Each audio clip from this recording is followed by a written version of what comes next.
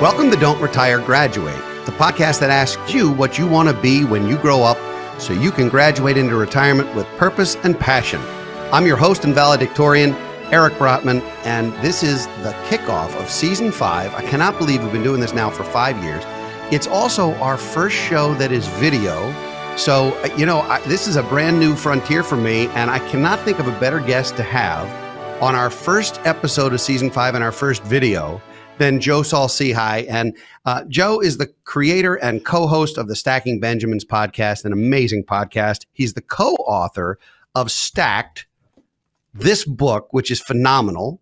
Um, Stacked, your super serious guide to modern money management, written by Emily Guy Birken with Joe's assistance, I think. Um, no, I'm only kidding. He, he and Emily wrote it together, and it's fantastic. Joe, welcome to Don't Retire Graduate. I, I, love how you made yourself the valedictorian. By the way, that's always my favorite part. I'm the valedictorian. I was never. I was never close. I was Who never remotely close. Who's the? I, I don't even want to think about it. But yes, this is the first time I've ever been referred to as the valedictorian, and it's irrefutable, which I really love. Well, so, it is. It, it is. So so you're a repeat guest on our show, and and I did have Emily on the show. We've talked about the book, and and hopefully some of our our viewers have have picked it up and enjoyed it as much as I have. I know we'll get into that a little bit today, but what I really want to spend some time with you on today is talking about some of the best and worst financial advice you've ever seen, heard, or or uh, encountered, and some of the best and worst financial advisors you've ever seen, heard, and encountered. And I'll pitch in on both of those because I certainly have uh, encountered both. But I just thought it would be fun to to not only leave our our audience with some great ideas, um, but also some some red flags, and they're ample. So so where would you like to begin? Man, do we? Are you asking me if I want to start with advisors or with advice? Is that absolutely? I'm I'm okay either way. There's this is a, it's an equal opportunity kind of thing. Well, let's start with advice because I personally, you know, uh, and your listeners may not, Eric, that I haven't been a financial planner in a long time. It's been maybe 14 years since I was a financial planner, but I still think that most people need people in their corner. Like we need to be thinking about the things that are important to us. Um, so I don't want to go after financial advisors right away for that reason, because I think that we all have blind spots and protecting those is super important. So let's go over uh, after bad advice, because what's funny is, is that when I when I made the transition from advisor to just more what I do now, financial media, what I found was I started spending a lot of time on social media. Of course, you know that over the last 14 years, that's gotten to be more and more and more time. And we've gone from, you know, doing just audio on our podcast to now video to doing all kinds of different channels. Like you, you, it's hard to make sure that you're finding your audience. And if you're trying to preach financial literacy like you and I are, you're increasingly finding yourself in all these other places. The problem I've seen, Eric, is that the worst financial advice is always on social media channels. And the reason for that, I think, is because most of the responsible people, and a lot of people don't know this. You and I know this, but a lot of a lot of your your listeners and viewers now don't know this. Is that there's this thing called compliance, and compliance makes it so that really smart people don't accidentally say something dumb, right? That that is hurtful, might hurt their their their their financial picture. So they have this system of checks and balances that makes sense that there's always when things like this happen where we have this well-intended thing called compliance there's also some negative stuff that came out of that and that is this vacuum still gets filled. There's now a vacuum of smart people who aren't talking uh, because they're afraid of their compliance monster coming down on them and going no you shouldn't say that. Or in some cases you know eric some people that are great people that work for big firms the big firm rather than spend a lot of money on compliance just says no you can't talk no, no, no, you can't do anything on social media. You can't do much on social media. Or it has to be these pre programmed, ugly, you know, just very salesy messages. So this void gets filled by people that don't have any compliance. So generally, when you get advice on social media, the first thing you have to do, you have to do, and nobody does it because it's a pain and people don't even know to ask this question, is you have to look at not just what are the person's credentials, but but, but are they working through any filters? Do they have any compliance? Do they have any background? They have any? Are they a CFP? Are they a fiduciary? Are they all these different things before you actually listen to them? Some of those people are out there, but man, some of the advice that uh, I see all just crazy because the smart people can't counter them. I think enough. You know, compliance. I'll, I'll give compliance a shout out because they they really are looking out for for all of us uh, as an industry, and of course, they're also dealing with um, regulatory impact and legislative things and things that um, that do make it more difficult in a lot of cases to um, to send a message out to the public. And there, there's plenty of uh, advisors who really don't mess with it or who think this is a little too scary. I'm not going into those waters. But um, I would say having that filter has been good for for me and for our firm because it has allowed us to hone our messaging to make sure that it is um, that it's crisp and that it's uh, reasonable. And that's not always an easy thing to do.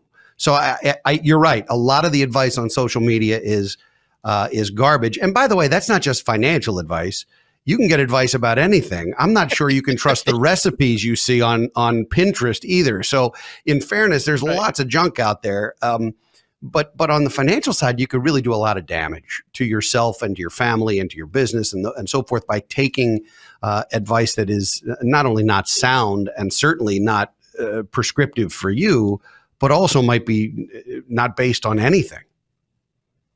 Some of the worst ones that I've seen are people that just don't it's it's it's well intentioned, but they don't know what they're talking about. Like some th- these people bother me more than schemers. We can go into the schemers next because man, some of these people with these these crazy things that they're pushing on uh, social media drive me crazy.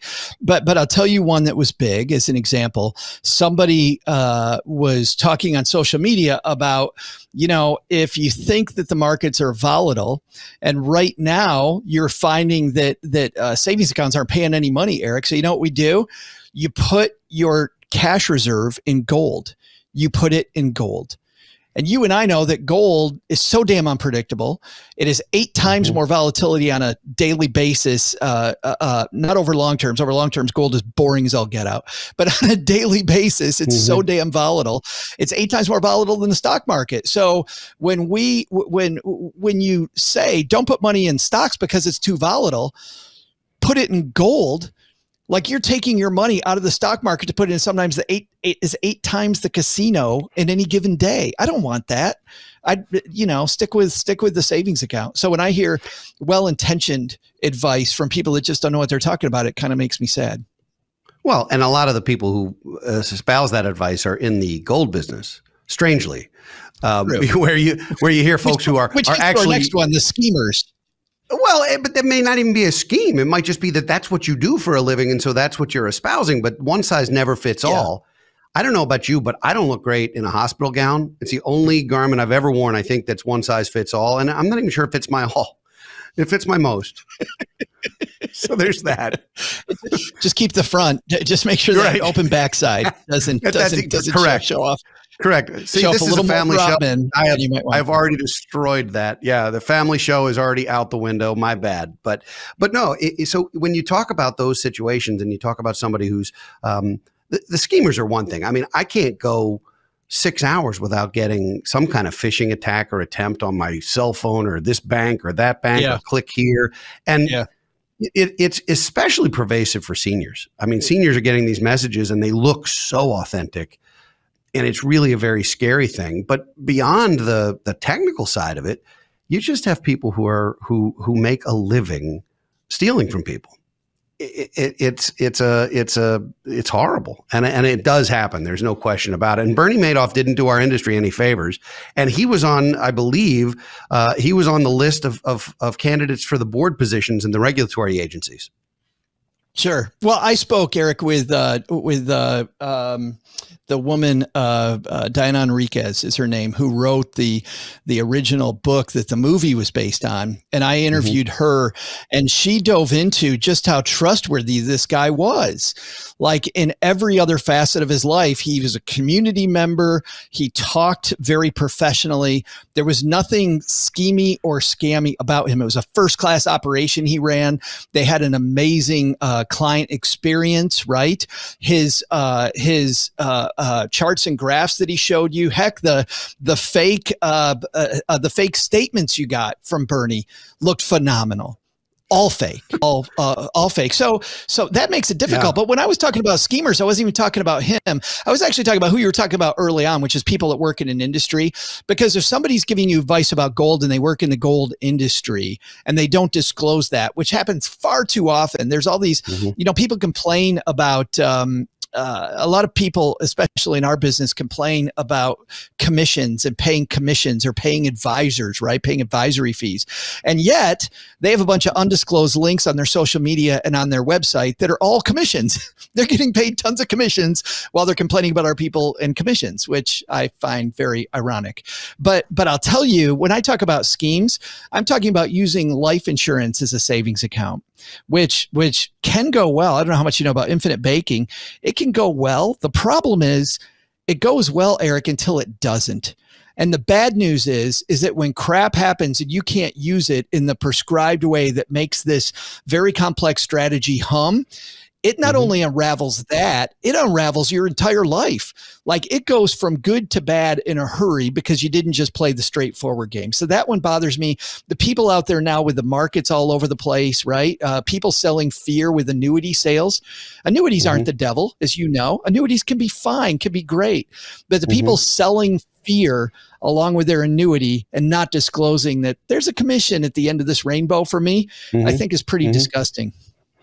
Well, and, and I do think that happens frequently. And, and I agree with you. The annuity, as an example, is a tool. It's not the right tool for every job. It's certainly not right for everybody. And there are reasons why um, some people should and some people should not utilize that. I think if you're in the annuity business and what you do is you call and sell annuities to people, and that's what you do, that's problematic. But I think if it's part of an over, uh, you know, an overarching strategy, I don't know that that's problematic. Um, the life insurance thing, it's interesting you bring that up because I'm a, I'm actually a very big fan of using life insurance as a, a cash equivalent and as an asset, um, and have used it personally to buy my first home and to start a company and have used it properly. Um, I do think there are a lot of folks out there who are selling life insurance for things it's not intended to do. Like I've seen folks out there saying it's a great way to save for college. It's not. It's not a great way to save for college. Um, I, have seen it misused many, many times by people who that's the only tool in their toolkit, so they try and use it for every job. Um, but I don't think as a strategy, and you're right, it is complicated to do it properly. But I think if done properly, it can be very, very helpful and, and very tax uh, efficient. But um, used well, improperly, once you under- a disaster. Yeah, Eric, once you understand it, and that's the problem is everybody's using shortcuts. And I think that that um, uh, uh, uh, cash value life insurance policies, you can't use shortcuts. You have to understand the mechanics of the process. And frankly, once you once you know it, it's a little like riding a bike, right? I mean, then once you mm-hmm. know it, you know it but so many people don't get the fact that if you stuff and, and, and here's here's the big for everybody yeah. the mind blower uh, which is if you stuff more money in it it's cheaper. Like that right there sounds like what the hell? Hand your life insurance company more money and it's cheaper? What no no that just goes against but it's true. It is absolutely yeah, true. well, the, the, the thing like everything else. when you yeah. It does as long as as long as you don't trip the IRS rules on modified endowment contracts and all the things where you where you screw up all the tax. So you can go too far. So yeah. you, you, it's not like someplace where it's a panacea. The only the only panacea I've come up with, and my compliance department, since we talked about them, our compliance department hates when I say it's the perfect vehicle, but by gosh, it's the perfect vehicle. So sorry about that, compliance. Um, is the HSA. The health savings account used properly is the single perfect vehicle I've ever seen. It's the only place where you can get a tax deduction for contributions, where you get tax deferred growth and can invest the money, uh, and where you can get tax free withdrawals for things that are healthcare that, by the way, all of us are going to use at some point in our lives or our spouses. Um, it's truly a perfect tax planning tool that is grossly misunderstood and misused. I've had uh, Jean Chatzky from NBC was on uh, our show talking about this, and she said people just don't understand it. They're not using it properly but used properly, it's it's as good as it gets. Super. It's absolutely super. And man, I hope we get rid of some of these this uh, ambiguity between the HSA and the FSA. I feel like as as we see wider adoption of the HSA, we'll see some of these things get get uh, cleaned up.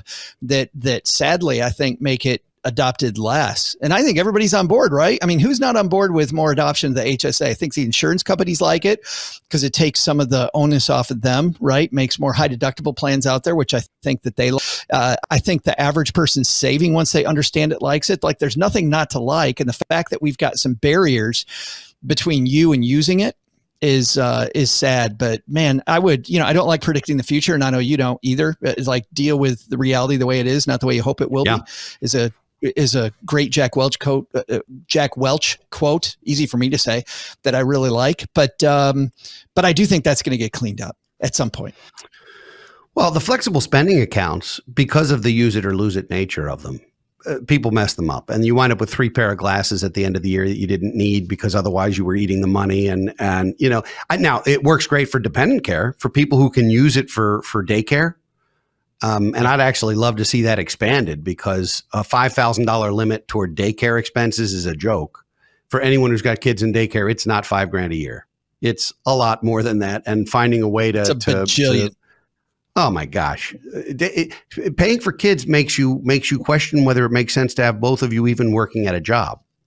Like at some point, you have to think: I is have, it better to, to work to work for to have both spouses work so that you can pay for daycare, or to have one spouse not work just so you're not paying for daycare? It might be a wash. I have twins, and when my twins got done with daycare, went to school, I felt like I got the most massive raise. Like I got this massive, yeah. massive raise. All of a sudden, I'm like, why the hell is there money in my savings account? Like, what is this about? Holy cow. well, your, your kids must be in public school then, because private school is no panacea well, either. Yeah. How old are your twins? Yeah, they did do they did a public. Well, they're 27, so that was a long time ago. So hopefully okay. they've graduated by now. I'll have to go ask. So are you already saving for you saving saving for grandkids education yet? Doing some legacy planning? I am not. You know, I don't know if I'm happy or sad that they have not had kids, and neither one seems interested at this point.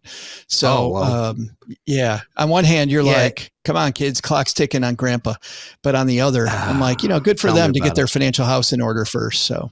It, it, it's true. The people who procreate young, um, they always say it's great because we're empty nested when we're 48 and can do anything we want. But what they've missed is their 20s, which I don't know about you, but what I remember of my 20s was a great time. I was not married, I had no kids, and it was a good time. I, that was I'm on the opposite you know, end of that. Yeah, we, we, we, had kids. We had kids fairly young. I was 27. My kids were born. Okay. So, but, but but like you said, you know, by the time I was 45, my kids were 18. Um, yeah. and and it actually has made these later years uh, a, a, ton more fun. Well, I'm I'm in my 50s and have a middle schooler, so uh, it, it's a totally different path. Um, yeah, and I don't think there's one right or wrong way. But so let's shift no. gears and let's beat let's beat on some bad advisors, um, and let's also this send some ad, let's send some attaboys to some good advisors too, because there's there's some really good people. I every industry I don't care if it's law or medicine or engineering or education, every industry has really great people in it and really lousy people in it. That's just the nature of humanity. It's the nature of a bell curve, it's the nature of life. In the financial business and in a lot of businesses, you, you hear about the bad ones. You know, we don't hear every day. There's no report that comes across your phone that talks about the plane that successfully landed at LaGuardia today. You only hear about the one that crashes. So in the financial world, it, it's very easy to to to think that everyone out there is out to get somebody because you're hearing that you're hearing the really egregious, horrible Ponzi scheme type stuff. Um, but the fact is that, like any other bell curve, if you look at the average financial advisor, and then you realize that half of the people who call themselves financial advisors, and we can get into whether they are or not, but half of them are below average. That's alarming. In any business, I wouldn't want a below average doctor, but let's talk about some of the below average advisors. Yeah, the um, you know, I think we'll talk about great advisors just as the as the opposite of this because i wrote a piece a yeah. while ago for our old blog it's no longer uh, up i do have some of this in in the book because it was so good which are just these ideas these these tips to find out if an advisor stinks before eric before you even meet with them. So if you go into an office like people used to a lot and mm. and some people still do you can get so many clues from the office. And here's why i'm an expert in this area. When i was doing public relations for american express and then for ameriprise I uh, my my work took me into different offices, so I got to see how different uh, uh, uh people operate. And average person doesn't know how th- this organization Ameriprise works, but they are independent, by and large, independent, uh, uh, semi-captive people that um, that that work inside of these offices. But but a lot of them own their own business, so it's like a McDonald's franchise. I think mm-hmm. might be an mm-hmm. analogy mm-hmm. that they won't like, but we'll go with. So so I'd walk into all these different you know, into semi-independent businesses. And I'll tell you, if you walk into that lobby and they are playing Cramer or Fox Business or the midday, you know, what's hot in stock world land, if if you see Wall Street at all on a big screen, you're in the wrong office. Because a good financial advisor. All right, good. We're good. We got that one right. I was wait, wait a second. Oh, Joe, Joe, you haven't been to my office yet. Be very careful. but no, no, I'm with you on that one. So far, so good knowing you, I know you're not going to trip over any of these, dude. You're not going to trip over any of oh, well, I, I but, hope but, not. But, the pressure's on. I'm sweating. but the reason is a bad advisor. A, a, a, bad advisor is somebody that leads with product and not process. And if somebody wants you to believe that they're a trader, that trading is important versus goal aspiration being the most important thing, you're in the wrong office. And this was always the case. It was some person that wanted to position themselves as as an oracle that they knew everything about investing, about stocks, about about about whatever. So they'd always put the investment channel on. And by the way, all the all the uh, people I would see in their lobby waiting to meet with these advisors, they had deer in the headlights. Eric, they're like, oh, you know, they're like, oh, what's the Oracle going to tell me when I do it? Because that TV makes them nervous. But if yes. they have like the travel, if they have the travel channel on or some yes. cooking show on or whatever it might be, something aspirational that we do, motivational video, that's a great office to be in another another another before, tip before you go lobby. on yeah before yep. you go on can you imagine being at your surgeon's office and walking in and you sit down in the waiting room for your surgeon and what you see on the video is somebody having surgery can you even imagine right. that for two seconds you'd be ill and be like oh my god i got to get out of here um, what you want to see is hgtv or uh, you know something like this or a food network i i particularly yeah. enjoy the Food yeah. Network when I'm sitting and waiting at the doctor's office. So, all right. So, go ahead. Number two. Yeah. What we got? Well, you know what I like my my doctors. Um, I used to complain because uh, this this they did not have a good experience, a good a good uh, patient experience until you mm-hmm. got to the doctor, and there they were awesome. And luckily, my doctor became a friend of mine, and I and I talked to them, and they've made some of these changes, which is kind of flattering that they that they did that. Mm-hmm. But the doctors also in back and doesn't know like what's going on. But That's but right. they were playing like these they were playing these news channels. And what's funny is I walk in and I immediately think my doctor has some political beliefs, right? Which I either mm-hmm. espouse or I don't espouse. And by the way, even if you're an advisor, and I know advisors, I know some advisors that were with clients. Uh, uh, when I sold my business, I actually sold my business to a guy who's like this. So if you're watching, mm-hmm. yes, I'm talking about you. he, he, he, he, he would talk politics in his client meetings. I'm like, you have no idea what your client's politics are. You've no, and it doesn't matter what your politics are to manage your money.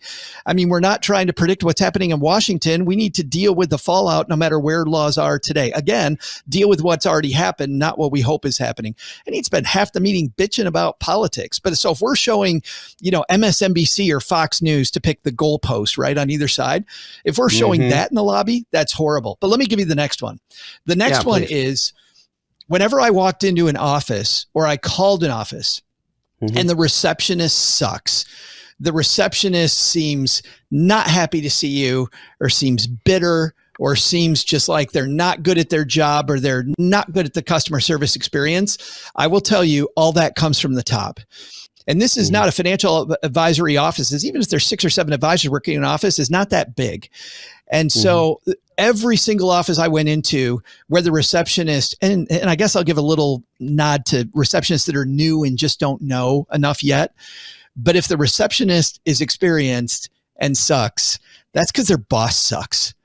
I saw that every single time in offices mm-hmm. uh, where I knew the advisor sucked. Like I knew when I walked in, I already knew it. Her or his receptionist, Eric, was crappy, was just absent because they knew it too. They knew it too. Yeah. All right, you're you're never invited to my office, just in case somebody's having a bad day. you're never welcome here. In fact, I'm changing the locks. All right. So what? So, so, how about how about a good one? Because um, you know we, we have a client relations department that I'll put up against anybody's, and they are they are the first impressions, and it's not reception as much as it's true client relations concierge.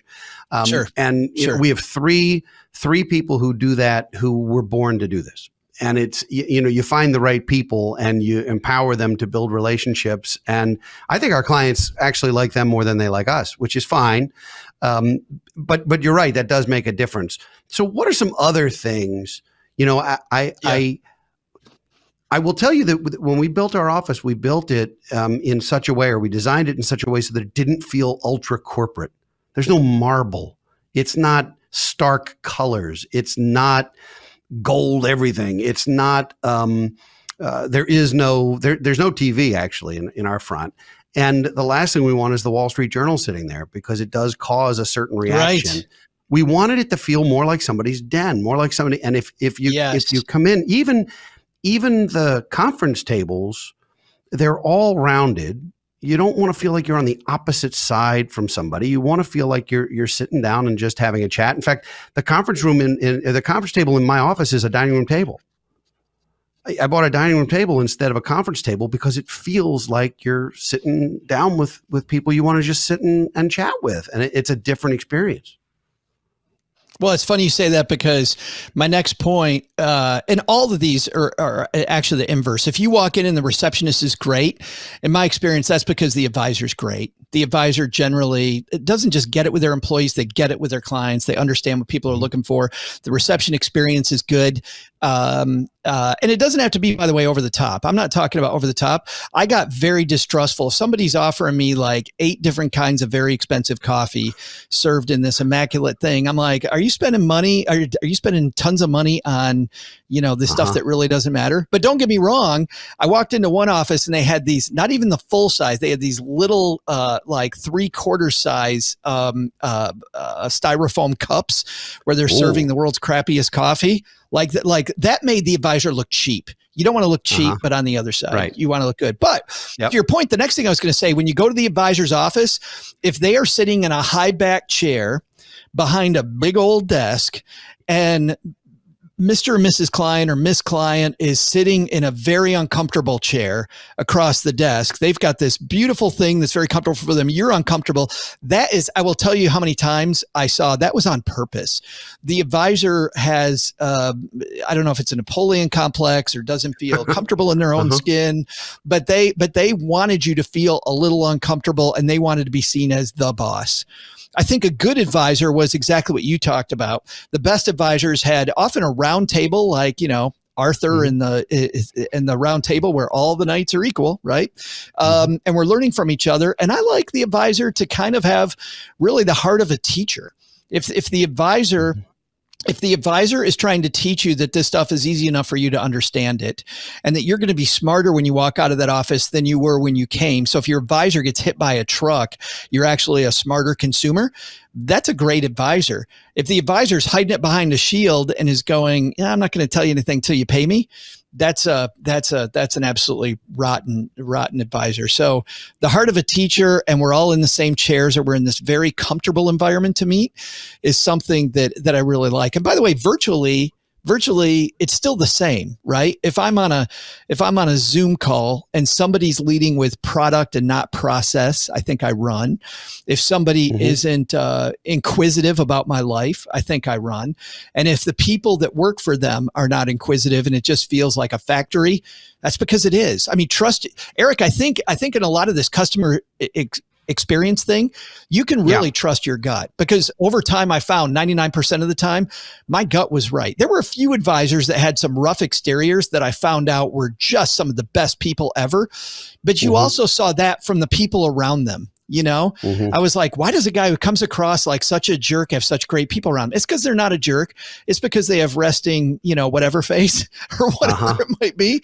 And I find out later they're really, really good people. But you can get lots of clues, I think, and, and learning to trust those clues is a great way to find great advisors.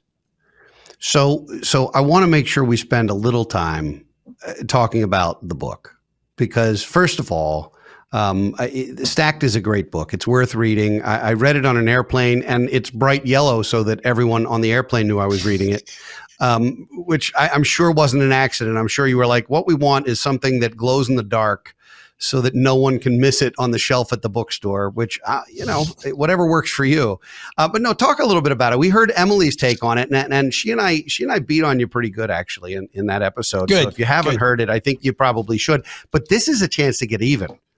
She is definitely going to see this. So here's here's a chance if you choose to take the the you know the low road, you could get even, or you could take the high road and say that she's the the brains behind it. Whichever way you want to go. Let's talk about the book. Well, I can't get even because you know her and you know me, and she is the brains behind it. well, and uh, and she was fantastic. The idea for the project was mine, uh, so I will take uh, I will take that. I will say that uh, a great lesson I learned in writing this book is uh, something a mentor taught me a few years ago, Eric. That if I had been younger when I learned this, it would have made me lots and lots and lots of money. Which is when you're in the weeds about something, ask who, not how don't ask how to do something. If you ask how to do something, you're going to end up in a bunch of YouTube videos. It's going to be uh, humble. You know, you're going to try to DIY something that you don't have any background in. Ask who knows how to do this, and can I either hire them, work with them, or can they teach me, right? They'll teach me mm-hmm. exactly what I need to know. And if it's somebody you know, they also know your learning style. So you're much more likely to know it. So I had written a book over 10 years that had been absolutely horrible. Um, it, it, it, was not at all me. It wasn't fun. It wasn't funny. I'm not saying that I'm super fun and fun. I guess I am saying I'm super fun and funny when I, when I say it that way, but that is, so. that's our whole stack. It's our whole Stacking Benjamins world is to, yeah. you can do this it, you can do this. You need smart people in your corner, but you still need to know it. And guess what? You can do this. And so um, I asked who, not how. And uh, Emily Guy Birken, as you know, somebody that's written marvelous books about retirement, oh, yeah. about financial planning, about social security, about all the topics, about investing, all the topics. She's well respected in the industry. And I said, Hey, you want to do something that is incredibly, I think, competent. It's a very competent book, but it also is a book mm-hmm. with a sense of humor that I don't see a lot in in this yep. business. So, um, so she, I was very excited that she she jumped on board. But we talk about advisors, as you know. Um, the book is organized like the Cub Scout Wolf Guide. So it starts off with it's all mm-hmm. achievements, and you start off with easy achievements at the beginning if you're just laying the foundation, or if you know your stuff, go to the back quarter of the book because that is all really the the, kind of high end 201, 301, and graduate level uh, stuff to put it in Eric Brotman terms. Ah, well, thank you.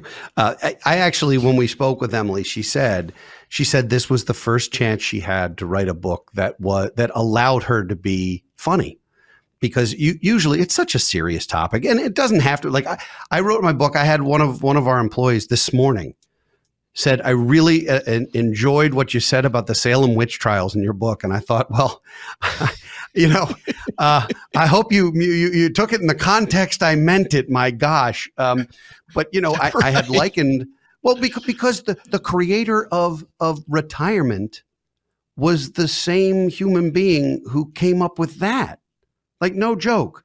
If you if you do the research on retirement, the whole idea of retirement is brutal, and no one should do it. If you knew the real definition, no one would sign up for it.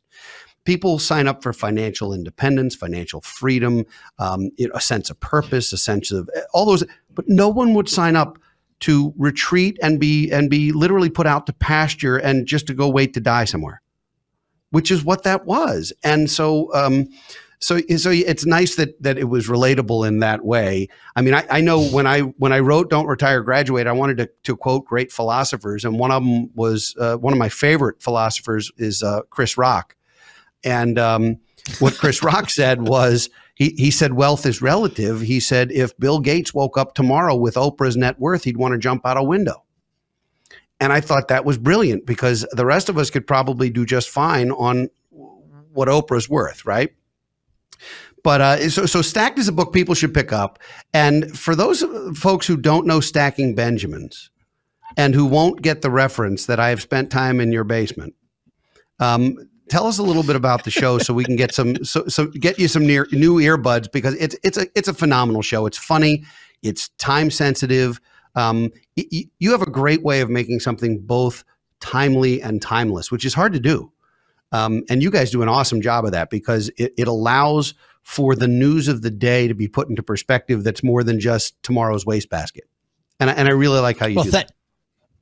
Thanks, man. And we work very, very hard at it. Um, our production schedule is is uh, pretty intensive, but you know, there's a. I think we need to make it playful on purpose. Like I'm not being playful, and whenever I see the negative any negative, and we don't get a lot of negative reviews, but when we do, it's always the same one. Stop messing around. Well, let me tell you why we mess around because I love statistics and I love the science of play. Studies show that it takes you about 4,000 repetitions of something to make it a habit. But if you turn it into play, it takes between 40 and 80 repetitions just think about the difference in those numbers. Mm-hmm. If we just make it a little more playful and we stop this, these, these, you know, wind conditions that are horrible, and we do it even more with money, as you know, Eric, we get oh, all, we get all, uh, you know, the temperature is so high. We need to lower the temperature. We need to relax. We need to make it fun and relatable and realize this is a marathon, not a sprint. And man, if I can do just one or two good things uh, every day, pick up one or two new skills a day, like that will help me a ton. So Stacking Benjamins is born of that. It's in my mom's basement because of the fact that when we started this almost 11 years ago, everybody was in mom's basement that made a podcast and we, we were going to own it. But also we're two guys that know what they're talking about. And we wanted to make sure that people didn't get obsessed with the fact, oh, I don't want to listen to a couple of, you know, longtime money nerds. Let's forget about that. We're two dudes in mom's basement chatting about money where people, smart people like Eric come down and, um, and we have a good time just chatting in a very light way about some, frankly, pretty serious stuff, you know? And so, uh, if we, so that is our teaching style. If we can lighten it up and make it lots of fun, you're, I think you're much more likely to, uh, to, to get some financial literacy in your life, which I think we're all after. We're definitely all after it. So I, I got to ask you before we before we uh, call it a day today, uh, and I could talk to you all day. Um, what do you want to be when you grow up? I've asked you this before, and I was dissatisfied with your answer. So I'm going to keep prying. Because you failed the first test, so this is a retest what's next? What do you want to be when you grow up? And I, I don't. Eh, well, and I know, and I know what I. Who do you want to be when you grow up? You know. I know what I told you last time, and I told you last time that that I'm very lucky that I I actually have a quote second career, right? So I yeah. am doing what I wanted to do, and if I'm doing this when I'm 90, I'm happy. But you know something? So I'm going to give you a real answer, which which I, I really want to be a race car driver. Like I would freaking love to be. My favorite my favorite thing to do because I don't drive fast cars. My wife has a heart attack every time I talk about it. So I play um, uh-huh. fans of our show know that I I like playing Xbox. I don't have nearly the time to play Xbox that I hope I do. When I do, I play golf or racing games generally. Uh-huh. And man, I I just love racing. Racing is so fun. Um, I like every type of racing. Formula One, man, that Formula One series on Netflix is so good. Um, watching NASCAR on TV is a little boring, um, but watching NASCAR live is fantastic fun. So, um, I yeah, racing. I, will be a race so car driver. Driven, How about that? Have you have you driven a stock car before? I haven't even done the uh, yeah, right, where so, you go so out to you, the track and they for? do the thing. I yeah, know, right? Do it. I've done it twice. My wife will have a heart attack. I've I drive. Well, she doesn't have to be I in the car. A ton. I drive a ton on my Xbox, and I love it. And by the way, I always uh, use. You know, you can change the view. No, you can change oh, the view sure. on your video game. I always sure. change it so I'm in the driver's seat. I don't do that crap where you're behind it. And and I have, and I should have had it out out here because I knew you were going to ask me this uh-huh. question. Uh-huh. I bought the world's most expensive steering wheel, uh, where you sit and you've got steering wheel and pedals. So, Tell me you dude, don't have the chair. I am. You have the chair? I, you have a gaming chair? No, no, I don't have the. Ch- I want okay. one. I would love Why don't to you go one, to a real tra- go to a real track. Go drive. A, your I, wife does not have to be in the car with you. I've driven all these great be. places. I'm not. she should, right. I'm not. I'm not unhappy. But you're right. Yeah. All right. Well, that's an awesome answer, and I like it better than you're already doing what you wanted to be when you grew up. Because, uh, as I tell my my 12 year old, adulting's a trap, and no one should do it. Um, so just because we get older doesn't mean we have to grow up for sure. So I love that. And I'm, for, for the record, I'm an Xboxer too. And not nearly as much as I'd love to be, but I, am a gamer too. I, it's, it's, I think it's a generational thing. You know, I think it's reasonable yeah. for our parents to still look at us and go, you're in your fifties. What are you doing, man? But the fact is it's, it's, it's, it's fun. It's such a great release, man. At the end of a at the end of a tough day, if I just sit down, I tell my wife sometimes I'm like, "Hey, I just want to go back in the back room and have a controller in my mm-hmm. hand and just be around nobody." Like that is that is heaven for me. It's fantastic. We, we yes, I think Yeah, we yeah. have just taken money nerd to a new level and just been nerds. Both of us. We've just we've just uh, our our inner nerddom is definitely out, and I and I love it. Joe, where can people learn more about you? Hear your your amazing podcast, get a copy of your book, and all that good stuff. Wherever you're listening here, you'll hear the Stacking Benjamin Show, the greatest money show on earth. We call it that because it's a circus, as you know, Eric. And uh, you know what? With the book, support your local bookstore. Um, I love local bookstores. If you're going to listen to it, listening to it's fun because we actually include experts. You mentioned Jean Chatzky. She's one of the subject matter experts in the book. At the end of every chapter, we have snippets from the Stacking Benjamin Show that are interviews with these people that kind of you know uh, nail down a chapter so that you can so you'll hear it and plus you get to hear my mom uh, ranting a little bit on the audiobook which is also fun Do you ever clamor for meatloaf? Just do you ever say, "Mom, meatloaf"? meatloaf! Does that ever happen? Meatloaf. All right. we, we play that clip at the beginning of some of our shows meatloaf Joe, thanks. Thanks for being on. Thanks for being the kickoff, the first guest ever on video. I've been told over many, many years that I have a face for radio, so we'll see how this goes. Um, but it, it's great to be on video. It's great to have um, uh, to have the Don't Retire Graduate season underway. You were a great first guest. I knew you would be. Uh, I'd like to thank all of you for listening and many of you for watching for the first time. We'd love to hear from you. So please send us a message, leave us comments. Um, go to don'tretiregraduate.com, go to brotmanmedia.com, leave ratings and reviews. They mean everything to us. Uh, and if you enjoyed the show, don't keep it a secret. Share it with your family and friends. We will be back next week with another installment of Office Hours, and in two weeks with another engaging guest, hopefully another Xboxer. Uh, for now, this is, yes, your valedictorian, Eric Brotman, reminding you don't retire, graduate.